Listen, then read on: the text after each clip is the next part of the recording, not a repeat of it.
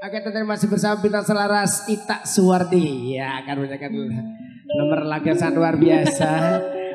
Alhamdulillah.